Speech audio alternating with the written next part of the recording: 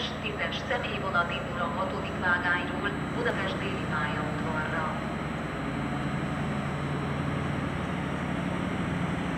S10-es személyvonat indul a 6. vágányról Budapest déli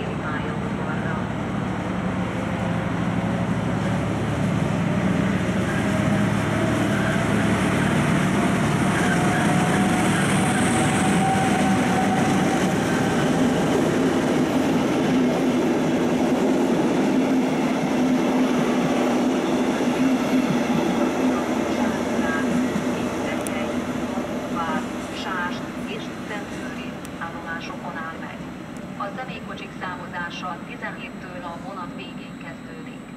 A vonatra az Intercity pót és helyjegyváltása kötelező.